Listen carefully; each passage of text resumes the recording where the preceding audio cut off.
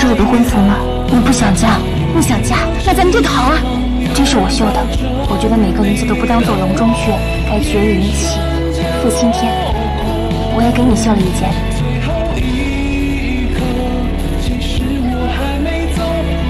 走啊！我不能走，能走一个是一个。